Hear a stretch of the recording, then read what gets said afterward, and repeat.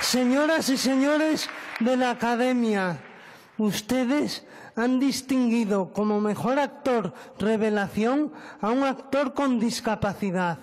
Ustedes no saben lo que han hecho. Me vienen a la cabeza tres palabras.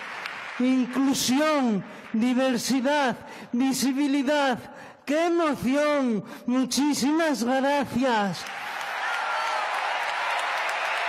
Este trabajo representa también a mis nueve compañeros del equipo de los amigos. Compañeros, sin vuestra frescura, vuestra espontaneidad y vuestro talento, esto no hubiera sido posible. Quiero dar las gracias también a Javier Fesser por hacerme crecer como actor y como persona. Quiero dar gracias también al equipo de coaching, porque sin vosotras este trabajo con 10 actores con discapacidad no hubiera salido adelante. Y ahora me voy a León, donde estáis vosotros, mi familia, a mis sobrinos, Michelle, Linda, Noé, Quique y Ángel Pepín. A mis hermanas, Maritere y María, José, gracias por ser la mejor hermana del mundo y por querer y cuidar tanto a nuestros padres.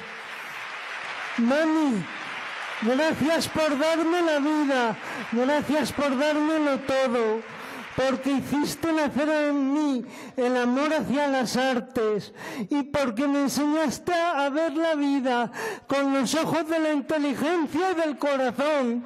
Te quiero todo. Don José Vidal Conde, mi padre, gracias por haber vivido, gracias por luchar tanto por mí, porque Eres la persona con más ternura del planeta sin pretenderlo y porque con solo una sonrisa cambiabas y cambias el mundo.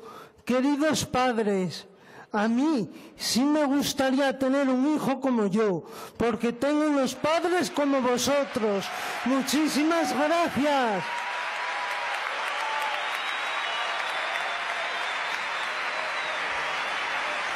Con nosotros.